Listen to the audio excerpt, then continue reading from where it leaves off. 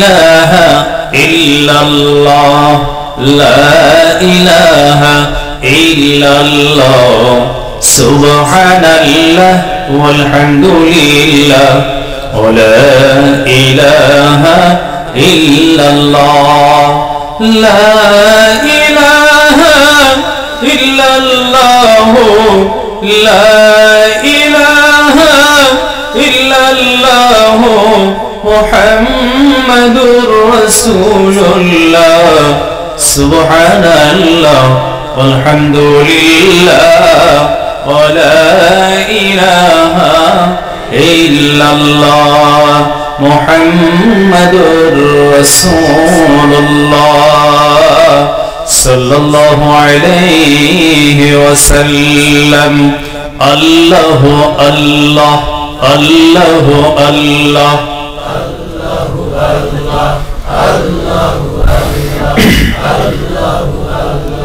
আল্লাহ আল্লাহ আল্লাহ আল্লাহ আল্লাহ আল্লাহু। আল্লাহ নাজিরি। পড়ি আমরা সবই মুখ খুলে পড়ি।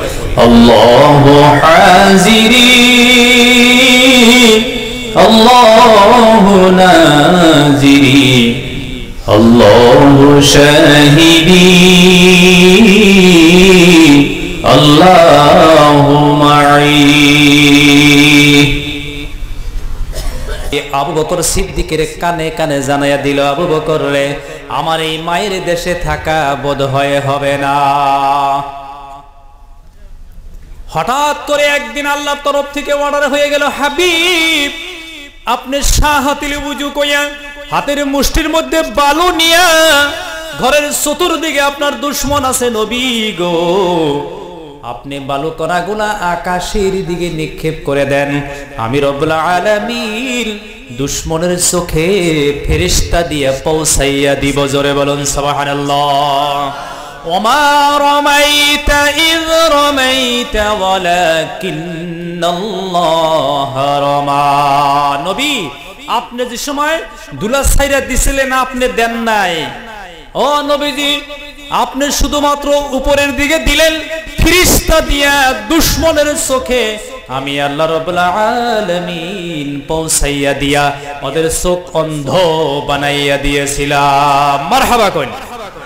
ও নজন বন্ধুরা, এইবার বিশ্বনবী মোহাম্মদুর রাসূলুল্লাহ সাল্লাল্লাহু আলাইহি সাল্লাম সর্বপ্রথম যাই আবু বকর সিদ্দিক রাদিয়াল্লাহু তাআলা আনহুর বাড়ি পাইলেন, ঘরের দরজায় ধাক্কা দিলেন। আবু বকর সিদ্দিক লগে লগে দরজাটা খুলে দিয়া নবীজিকে ঘরে বসতে দিলেন। নবীজি প্রশ্ন করল, আবু বকর রে, গভীর রজনী তুমি এখনও পর্যন্ত কেন ঘুমাও নাই? ইয়া রাসূলুল্লাহ, ইয়া হাবিবাল্লাহ। আজ থেকে তিন বছর আগে আপনি বলেছিলেন, আবু বকর মক্কা নগরীতে থাকা যাবে না, থাকা হবে না।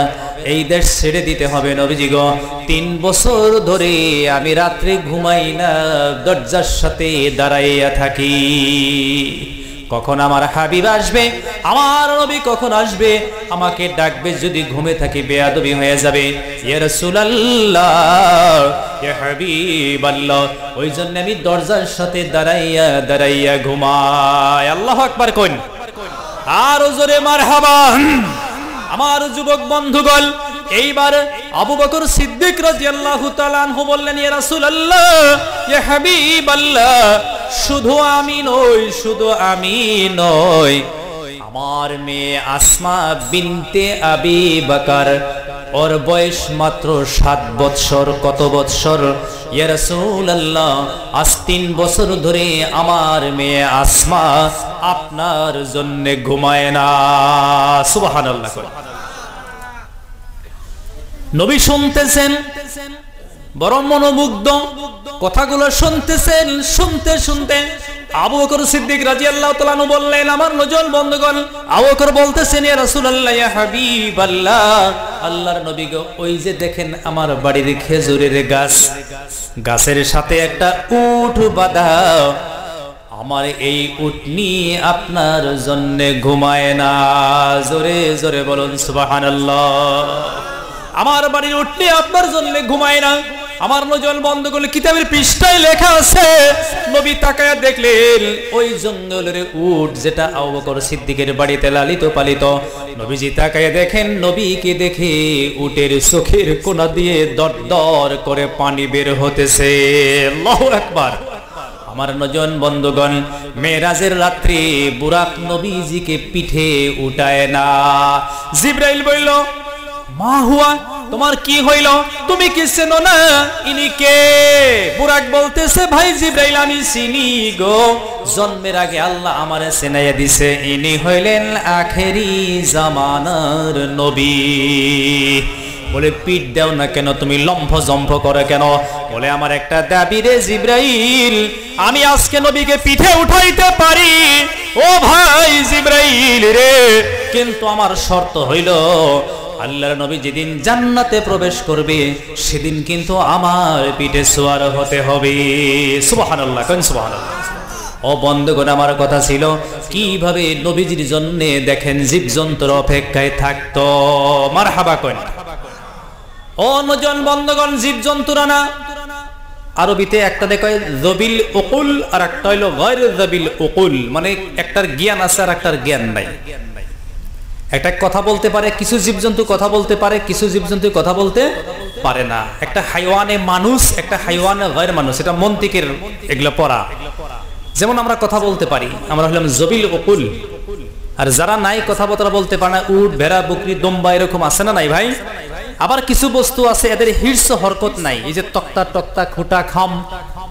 আমার বন্ধুগণ আপনারা অপেক্ষায় আছেন, রাত এগারোটা পার হয়ে যাইতেছে। দিনের কথা শুনবেন, বন্ধুগণ, কথা ঠিক না নাই? এইবার তাকায়া দেখেন, উট পর্যন্ত নবীর জন্য অপেক্ষা করত। জোরে জোরে কইন হাবা ঘরের দরজা, লাকড়ি, কাঠ, খুঁটায় নবীর জন্য অপেক্ষা করছে। হদিস শরীফ প্রমাণ আল্লাহ নবী সাল্লাল্লাহু সাল্লাম হতিমে কাবার মধ্যে শুয়ে আছিলেন। জিব্রাইল আমিন আর বুরাকের পৃষ্ঠে নবীজি উইঠা বাইতুল মুকদ্দাসে গেলেন। কোন জায়গায়? কোন জায়গায় গো? যেটা পৃথিবীর সর্বপ্রথম কিবলা। এখন আমাদের পশ্চিম হইল কাবাঘর। কিবলা কোন ঘর? তখন ওইটা বাইতুল মুকদ্দাস ছিল কাবাঘর। ওইটা ছিল সেজদার জায়গা। আল্লাহর নবী সাল্লাল্লাহু আলাইহি সাল্লাম মসজিদে কিবলা তাইল, মসজিদে জুমআ, যেটা মদিনায় অবস্থিত, এইখানে নবীজি একদিন আসরের নামাজ পড়তেছেন বাইতুল মুকদ্দাসের দিকে ঘুইরা। কোন নামাজ গো? আপনারা ঘুমাইছেন। কথা তো কন্যা না। আজকে রোজার মাসের উনত্রিশ তারিখ। একটু কথা বললে সব জোয়ান মানুষ। মার হাবা কইন। কথা না করলে আমি ভাববো যে টাওয়ার পাই নাই। বুজুর্গ দোস্ত, ইনশাল্লাহ একটু হা না বলার চেষ্টা করব না নাই? কি জন্য বলব, নবীজি আর জায়েদ নামের সাহাবা এক ঘোড়ার পিঠে উঠে যাইতেছে কোন দিকে। রাস্তায় যায় নবীজি জায়েদের সাথে কথা কইতেছে। কইতেছে, জায়েদ, শুনছাও? জি রাসূলুল্লাহ, শুনছি। আবার কইছে, শুনছাও না? বলে, শুনছি। হদিসে আইছে, হাত দিয়ে ধাক্কা দিছে, জায়েদ, শুনছাও না নাই? মানে কথার গুরুত্ব বাড়াবার জন্য জোরে কোন সুবহানাল্লাহ। আমার নজন বন্ধ করে বিশ্বনবী মোহাম্মদ রসুল্লাহ সাল্লাহ সাল্লাম মসজিদে জুমা মসজিদে কিবলা তাইনে আসরের নামাজে পড়তে এসে গো বন্ধু। নামাজ পড়তে পড়তে দুই রেখাত শেষ। কয় রেখাত থাকল? তখন নবীর দিলের ভিতরে এসে গেল, আল্লাহ, ও আল্লাহ, কিবলাটা বাইতুল মুকদ্দাস না হইয়া তোমার কাবা ঘর যদি হইতো রব্বুল আলামিন বড় ভালো হইতো। আল্লাহ রব্বুল আলামিনের নবীর দিলের চাহিদাটা আল্লাহর পছন্দ হইয়া গেল। আল্লাহ রব্বুল আলামিন জিব্রাইলের কাছে কোরআনের আয়াত পাঠাইয়া কইল, হাবিবের কানে কানে পৌঁছাইয়া দাও। দুই রাকাত পড়ছে, দুই রাকাত বাকি আছে। আগে যায়া আয়াত পৌঁছাইয়া দাও। নবী নামাজে আছে, কিসে আছে? জিবরিল আয়াত পৌঁছাই দিল বিসমিল্লাহির রহমানির রহিম سيقول السفهاء من الناس ما ولاهم عن قبلتهم التي كانوا عليها قل لله المشرق والمغرب يهدي من يشاء إلى صراط مستقيم وكذلك جعلناكم أمة وسطا لتكونوا شهداء على الناس ويكون الرسول إلى آخر الآيات. বুজুর্গ দোস্ত, আল্লাহ বললেন, জিব্রাইল নবীর কানে কানে শুনে দাও। আমার নজন বন্ধুগণ, জিব্রাইল আমিল সাল্লাল্লাহু আলাইহি সাল্লাম, নবীজি নামাজ অবস্থায় আছে, বন্ধুগণ নামাজ অবস্থায়, নবীজি নামাজ পড়তেছে পড়তেছে, দুই রাকাত বাকি আছে। জিব্রাইল আয়েশা নবীর কানে কানে জানাইয়া দিল, অমনে নবীজি কাবা ঘরের দিকে ঘুইরা নামাজ শুরু করে দিল, জোরে বলুন, সুবহানাল্লাহ। ওই দিন থেকে বাইতুল মুকদ্দাস কাবা, কিবলা বন্ধ হয়ে যায়। আল্লাহর ঘর কাবা শরীফ পৃথিবীবাসীর জন্য কিবলা হয়ে গেল। মারহাবা। তো জিব্রাইল আর বুরা নবীকে হাতিমে কাবা থেকে নিয়ে বাইতুল মকদ্দসে গেলেন। আমার নজন বন্ধুগণ, আমরা এশারের নামাজ আদায় করে, সব মানুষ চলে যাই মুয়াজ্জিন সাহেব, খাদিম সাহেব, মসজিদের দরজা খিড়কি বন্ধ করে তালা মাইরা পরে বাড়িতে যায় যায় না নাই। ওই দিনে এশার নামাজের পরে মুয়াজ্জিন সাহেব দরজায় ধাক্কা দেয়, দরজা বন্ধ হয় না, সুবহানাল্লাহ কয়। আমার বন্ধুগণ, মুয়াজ্জিন মনে মনে ভাবলো, কি হইল, কি ব্যাপার, দরজা কেন বন্ধ হয় না? জোরে জোরে ধাক্কা লাগাই রে মুসলমান। খোদার কসম, বাইতুল মুকদ্দাসের দরজা বন্ধ হয় না। গ্রাম থেকে মানুষ ডাইকানে আসলো, ভাই, আসো আসো, ঘরের দরজা তো বন্ধ হয় না। পাঁচজন, দশজন পর্যন্ত নজওয়ান জোরে জোরে ধাক্কা দেয় খোদার কসম। বাইতুল মুকদ্দাসের দরওয়াজা বন্ধ হয় না, কেন বন্ধ হয় না? আল্লাহ রাব্বুল আলামিন ঘোষণা করে দিছে, ও বাইতুল মুকদ্দাসের দরওয়াজারে খিড়কিরে কিছু সময়ের ভিতরে আমার রাসূল তোমার ভিতরে প্রবেশ করবে, তুমি বন্ধ হতে পারবা না। আল্লাহু আকবার কইন।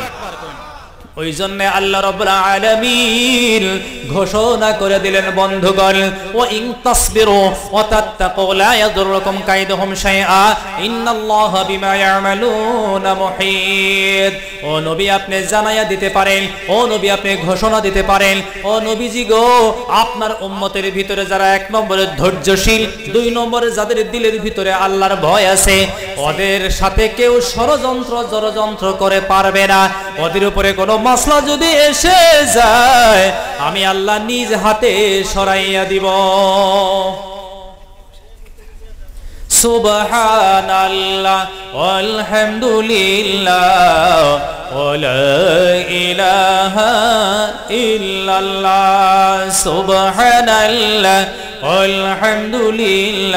ওয়া ইলাহা ইল্লাল্লাহ আমার নজন বন্ধুগণ, কিছু সময়ের ভিতরে নবীজি আইসা বাইতুল মুকদ্দাসে ঢুকে গেলেন।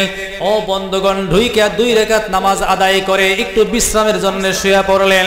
আল্লাহ রাব্বুল আলামিন জিব্রাইলকে বললেন, ভাই, ও বন্ধুগণ, জিব্রাইলকে আল্লাহ ওই সময় ঘোষণা দিলেন, জিব্রাইল রে, জলদি জলদি আমার হাবিব রে নিয়া তুমি আর সে আজিমে এসে যাও, একদম লাস্ট বর্ডার পর্যন্ত এসে যাও। আমি আল্লাহ রাব্বুল আলামিন আমার হাবিবের জন্য অপেক্ষায়। জিব্রাইল যাইয়া দেখে, নবী আমার ঘুমন্ত অবস্থায়। জিব্রাইল মনে মনে ভাবে, নবীজিকে আমি আওয়াজ করে ডাকবো, কিন্তু ভয় পেয়ে যায় নবীর বিশ্রামের ব্যাঘাত জন্মিবে। আবার বলে, ধাক্কা দিব, না না, দেওয়া যাবে না, নবীর কষ্ট হবে।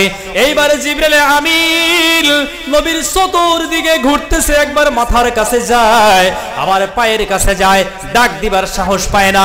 ওদিকে আল্লাহ বলে, জিব্রাইল রে, জলদি জলদি আমার হাবিব রে নিয়ে আসো। জিব্রাইল নিরুপায় হইয়া নবীজির পায়ের কাছে বসে পায়ের তালুর মধ্যে জিহবা লাগাইয়া আস্তে আস্তে করে চাটতেছে জিহবার লাগার কারণে ঠান্ডা অনুভব হয়ে গেছে, নবীজির ঘুম ভেঙে গেছে। নবী উইঠা দেখেন জিব্রাইল জিহিবা দিয়ে পায়ের তালুর মধ্যে। আল্লাহ নবী বললেন, ভাই জিব্রাইল, তোমার জিহিবাটা কেন পায়ের তালুর মধ্যে লাগাইলা? জিব্রাইল বলতেছে রাসূলুল্লাহ, ইয়া হাবিবাল্লাহ, আমি জিব্রাইলের চাইতেও আপনার পায়ের তালুর মূল্য আল্লাহর কাছে অনেক বেশি। জোরে কোন সুবহানাল্লাহ। আমার নজওয়ান বন্ধুগণ বিশ্বনবী মোহাম্মদ রসুল্লাহ সাল্লা সাল্লামের জন্য ঘরের দরজা পর্যন্ত অপেক্ষায়, জীবজন্তু পর্যন্ত অপেক্ষায় বন্ধুগণ, কিন্তু আমরা যারা দিনী মুসলমান, বর্তমানে পৃথিবীর আহ্বাল ও বন্ধুগণ দিন একদিকে আমরা একদিকে, ইসলাম একদিকে আমরা একদিকে বন্ধুগণ, আল্লাহর আকাশের নিচে, জমিনের উপরে মুসলমানের সবচাইতে বড় পাওয়ার বস্তুটা মুসলমানের সবচাইতে শক্তিশালী বস্তুটা হইল দিন। জোরে কইন সুবহানাল্লাহ। দিন আবাদ হবে, মসজিদগুলি আবাদ হবে, মাদ্রাসাগুলি আবাদ হবে, উম্মত আবাদ হবে, পৃথিবীর মুসলমান আবাদ হয়ে যাবে বন্ধু। দিন বিরান হয়ে যাবে, মসজিদ বিরান হবে, মসজিদ আবাদ হবে না, মুসল্লি যাবে না, মাদ্রাসা আবাদ হবে না তালিব আসবে না, মাদ্রাসা ঘর দুয়ার বনবে না। কোরআনের শিক্ষা যত দ্রুত গতির চালু হবে, আল্লাহ রব্বুল আলামিন এই উম্মতকে আল্লাহ পাক তত বেশি দ্রুত গতিতে আবাদ করে দিবে। জোরে বলুন, সুবহানাল্লাহ। সুবহানাল্লাহ আলহামদুলিল্লাহ ওলা ইলাহা ইল্লাল্লাহ মুহাম্মাদুর রাসূলুল্লাহ সাল্লাল্লাহু আমার নজওয়ান বন্ধুগণ, আল্লাহর আকাশের নিচে, জমিনের উপরে, সবচাইতে দিনের পাওয়ার বেশি, আমলের পাওয়ার বেশি বন্ধুগণ, আরব দেশের মতো বড় একটা দেশের বাদশাহ যদি হয়, আমল নিয়ে যদি কবরে যাইতে না পারে, কিয়ামতের মাঠে মিসকিন হইয়া দাঁড়াবে। জোরে কইল, নাউজুবিল্লাহ। আর একটা সাইকেল মেকারও যদি হয়, ঠেলাওয়ালাও যদি হয় রিক্সাওয়ালা যদি হয়, হাজিরা কর্নেওয়ালাও যদি হয়ে যায়, আর নেক আমল নিয়ে যদি কবরে যায় বন্ধু, উনি আখেরাতে বাদশাহ হয়ে দাঁড়াবে। জোরে কোন সুবহানাল্লাহ। আমার বন্ধুগণ ওই জন্যে আমি আপনি আমল বাড়াবো, আমার আপনার মধ্যে দিন আসবে, কই থেকে দিন আসবে, সব শিক্ষারই প্রয়োজন, school, college, varsity, English academy, science academy, ইত্যাদি শিক্ষার দরকার বন্ধুগণ, কিন্তু দুনিয়া এবং আখেরাতের সবচাইতে দামি শিক্ষা, সেটা হলো কোরআনের শিক্ষা। জোরে কোন সুবহানাল্লাহ। যত কোরআনের শিক্ষা বাড়বে, আল্লাহ তত রেজেকে বাড়াইয়া দিবে। যত হাফিজে কোরআন বাড়বে, আল্লাহ তত মালে বরকত দিবে। যত আলিমে দিল বাড়বে, আল্লাহ রুজি রোজগার বাড়াইয়া দিবে। জমিনে যত তেলাওত বেশি হবে, জমিনে ফসলে বরকত হইয়া যাবে। বুজুর্গ, দোস্ত, আজকের থেকে 30 বছর ব্যাক করেন। 30 বছর পাঁচ মিনিট দেখেন, মানুষের অবস্থা কি ছিল? তখন মানুষ গরিব ছিল না? কি গরিব ছিল কিনা? দিনে দিনে দিনে দিনে মানুষ মালদার হতেছে।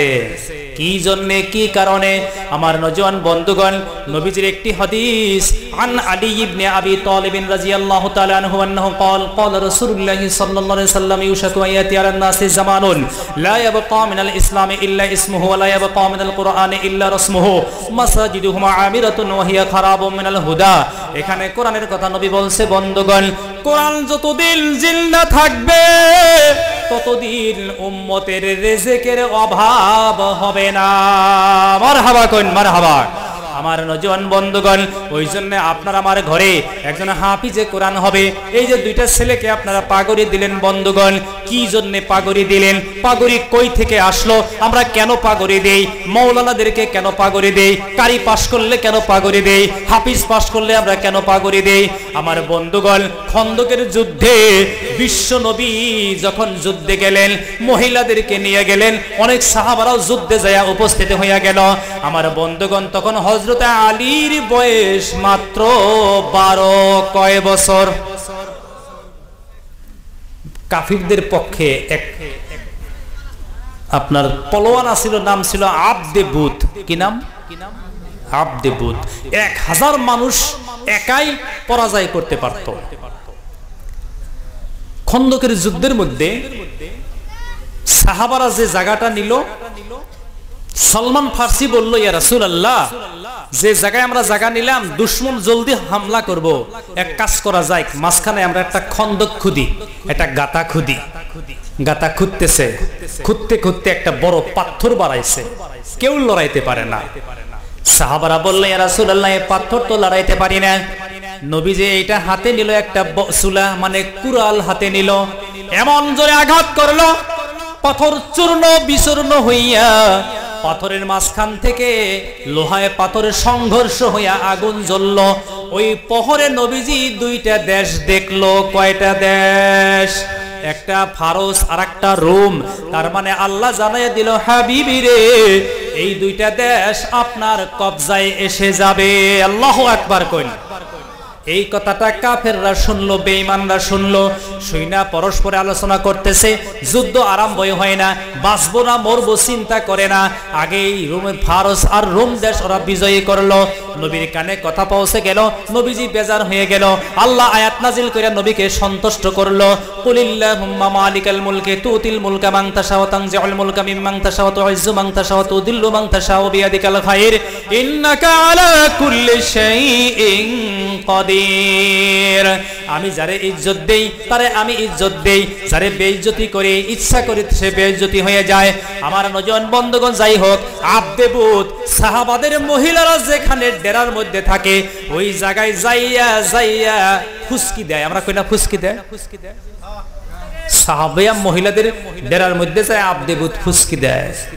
হজরত আলী দৌড়ে নবীর কাছে গেছে, ইয়া হাবিবাল্লাহ, আপনি আমারে অনুমতি দেন, আমি আব্দে ভূতের সাথে মোকাবেলা করব। নবী বললেন আমার বংশে এখন কেউ নাই, তুমি একমাত্র বেঁচে আসাও। আমার চাচা আবু তলিবও চলে গেল, আমার দাদা আব্দুল মুত্তালিবও চলে গেছে। এখন বংশের মধ্যে বাতি হিসাবে তুমি তুমি যাইও না। এক হাজার পলোয়ান দ্বারে দেখে ভয় পায়, তার সাথে তুমি পারবা না। আলী সুপ আলী? সুপ একটু পরে আব্দবুত আবার যায়া দিল ফুসকি। আলীর রাগ উঠে গেল, নবীর কাছে গেল, ইয়া রাসূলুল্লাহ, আপনি আমারে অনুমতি দেন। আব্দবুতের এই অভদ্রামি আমি সহ্য করতে পারব না। নবী বললেন, না না, হবে না, সম্ভব না, তুমি ওর সাথে পারবা না। তুমিও যদি মরে যাও রে আলী, আমার বংশ খালি হইয়া যাইব। কথা বুঝে আসছে না নাই? আলী সুপ একটু পরে আব্দবুত আবার আসছে। আলী যে নবীজিকে বলছে এরা রাসূলুল্লাহ, আমি আর সহ্য করতে পারব না। আপনি আমাকে অনুমতি দেন। তখন বিশ্ব নবীর মাথায় পাগড়ি ছিল মুসলমান। মাথার পাগড়ি খুইলা আলীর মাথায় বান্ধা দিল। নবীজি কানতেছে দর দর করে চোখ থেকে পানি পড়তেছে। আলী রে, যাও যাও যাও। তোমারে ছেড়ে দিলাম। এত বড় পোলোয়ার সাথে তুমি যুদ্ধ করে তো আর বাঁচতে পারবা না। নবীজি কান্দে, আলী কান্দে, বন্ধুগণ, আলীর হাতে একটা তরবারে, মাথার মধ্যে কার পাগড়ি বান্দা দেওয়া হইল? জোরে কন, কার? আমার বন্ধুগণ, আলী আব্দেবুতের পিছনে পিছনে যাইয়া ও বন্ধুগণ কত পতন হয়ে গেল আব্দেবুত বলতেছে, আলী রে, তোমার তো বাবা নেই, আমি তোমারে ভালোবাসি, তোমারে আমি মহব্বত করি, তুমি আমার পিছনে কেন আসছাও আলী রে? তোমারে ভালোবাসি, তুমি দূরে সইরা যাও। আলী বলতেছে, না না না না, তুমি কারে ভয় দেখাও? আলী, গোটা পৃথিবীর বেঈমানদের জন্য আল্লাহ রাব্বুল আলামিন, আমি আলীরে বাঘ বানায়া দুনিয়ায় পাঠাইয়া দিছে। জোরে বলুন, সুবহানাল্লাহ। ও আব্দেব তুমি যদি এত বড় এত বড় যোদ্ধা, তাহলে তুমি একা কেন? তোমার পিছনে তো কোনো মানুষ আমি দেখি না। তখন আব্দেবুত পিছন দিকে ফিরে তাকায় আছে। দেখল যে হাসায় আসছে না নাই আমার পাশে। যেমনে মাথা ঘুরাইলো, আল্লাহর তরফ থেকে অর্ডার হয়ে গেল, আলী রে, এইবার তোমার গোল্ডেন চান্স তুমি মাইরা দাও। আলী তরবারি দিয়া আপনার আব্দেবুতের সোনার মধ্যে মেরে দিল। দুই টুকরা হইয়া আলীর তরবারি একবারে মুঠা পর্যন্ত মাটিতে গেড়ে গেল। আল্লাহ একবার কোন আমার নজন বন্ধুগণ, মনে রাখবেন, এই যে কাঞ্জুল উলুম আপনাদের মাদ্রাসায়, বছর বছর ছেলেরা পাগড়ি পায়, আজকে দুইটা ছেলে পাগড়ি পাইলো বন্ধুগণ, কি জন্য পাগড়ি পাইলো? আলীর মাথায় আল্লাহর নবী পাগড়ি পড়াইয়া দিল, আলীরে আল্লাহ যোদ্ধা বানাইয়া বেঈমান নিপাত করে দিল বন্ধুগণ। এই ছেলেরা যেদিন কিয়ামতের মাঠে, ও নজন বন্ধুগণ, এই দেশের মানুষ যেদিন বিপদে পড়বে, এই দেশের মানুষ যেদিন হায় হায় হায় হায় নাফসি নাফসি করবে ও বন্ধুগণ, হাতে কোনো আমল নামা থাকবে না, কোনো নেকি আমল নামার মধ্যে থাকবে না বন্ধুগণ। এই পাগড়ি পরনেওয়ালা তালি বলে ইলিমেরা আপনাদের হইয়া আল্লাহর রাস্তায় যুদ্ধ করে করে এই কাঞ্জন উলম এলাকার জিলা গোয়ালপাড়ার মানুষকে ওরা জান্নাতে পৌঁছাইয়া দিবে। জোরে বলুন, সুবহানাল্লাহ। কিয়ামতের দিনে আপনার ছেলে আপনার কাজে নাও আসতে পারে, আপনার ভাই আপনার কাজে না আসতে পারে, আপনার বিবি আপনার কাজে না আসতে পারে, আপনার আওলাদ আপনার কাজে না আসতে পারে, বন্ধুগণ, এই কাঞ্জলি উলুম মাদ্রাসা আপনার আমার জন্যে সুপারিশ করবে। কামরূপের ছেলে হাফিজ হইয়া কামরূপ যাইবে, ওইখানে ও মাদ্রাসা পড়াবে, ওর হাতে হাফিজ বনবে, ওরা থাকবে দরঙ্গের ছাত্র, ওইখানে ওরা যাবে, ওরা থাকবে নগাঁয়ের ছাত্র, ওরা নগাঁও যাইয়া মাদ্রাসা করবে। এইভাবে হাফিজে কোরআনের সিলসিলা, আলিমে দিনের সিলসিলা, কাঞ্জুল উলুম মাদ্রাসার সিলসিলা, কিয়ামত পর্যন্ত লম্বা হয়ে যাইবে, জোরে বলুন সুবহানাল্লাহ। এই দেশের মানুষ যত বর্তমানে কবরে আছে, ভবিষ্যতে যারা কবরে যাব, আগে অনুষ্ঠান প্রতিষ্ঠান করে যারা কবরে চলে গেছে, বন্ধুগণ, তালি বলিল, ইমরাজ এখন কোরআনের তেলাওয়াত চালু করে। চব্বিশ ঘণ্টা তিলাওয়াত করে, বন্ধু। হাফিজে কোরআনরা তিলাওয়াত করে। এই দেশের মধ্যগানের রুহের মধ্যে আল্লাহ সোয়াবরে সানি করে দেয়। আপনার বাবা দুনিয়াতে নাই, আপনার মা দুনিয়াতে নাই, আপনার প্রতিবেশী কেউ মারা গেছে, বন্ধুগণ। আমরা দোয়া করার টাইম পাই না। কেউ বড় ব্যবসায়ী, কেউ বড় পলিটিশিয়ান কেউ বড় সার্ভিসম্যান আমরা মাতা পিতার জন্য দোয়া করার সময় পাই না। আমরা রাত্রে ঘুমাই। আর উলুম মাদ্রাসা তালিবুল ইলিমরা হাফিজে কোরআনরা আপনাদের মাতা পিতার জন্য ডেইলি ডেইলি চব্বিশ ঘন্টায় দোয়া করে। মাদ্রাসা তালিবুল ইলিমদের দোয়ার বরকতে, তিলাওয়াতের বরকতে, এলাকার অসংখ্য মুর্দাকে আল্লাহ চব্বিশ ঘন্টায় জান্নাতি ঘোষণা করে দেয়। তাহলে আমাদের মধ্যে হাফিজে কোরআন হোক, আমরা চাই না নাই। কি ভাই চাই না নাই? নারায়ণ আমার বন্ধুগণ, তাহলে হাফিজে কোরআনের নামে আপনার বংশের মধ্যে হাফিজ আসবে, আপনার আওলাদের মধ্যে হাফিজ আসবে, আপনার গ্রামে হাফিজে কোরআন তৈরি হবে, এই মাদ্রাসা থেকে হক্কানি হক্কানি আলিম হবে, কারি হবে, মুফতি হবে মুফাসির হবে, মুহাক্কিক হবে, আদিব হবে, কাতিব হবে, এটা আমরা চাই না নাই। আমাদেরকে জান্নাতে নিবে, তার জন্য যোদ্ধা আমরা বানাবো। আর এই যোদ্ধা হবে এই মাদ্রাসা থেকে কিসের যোদ্ধা? ওইটা হলো নেক আমলের যোদ্ধা। জোরে জোরে কোন তাহলে বুজুর্গ দোস্ত, এই মাদ্রাসার জন্য যেখান থেকে ইনশাল্লাহ ইলিম বার হবে, আলিম বার হবে, সুপারিশ করানোওয়ালা বার হবে, এই মাদ্রাসার হকে সর্বপ্রথম। দশটা হাজার টাকা কে দিবেন ইনশাল্লাহ? আমি মুসাফির হিসেবে শেষে দোয়া করব, আশা রাখছি। ভাই, রায় তো অনেক হয়ে গেছে, বারোটা বাইজে যাইতেছে। ইনশাল্লাহ সর্বপ্রথম দশটা হাজার টাকা আমি চাইছি। কে আছেন ইনশাল্লাহ? সুবহানাল্লাহ, আলহামদুলিল্লাহ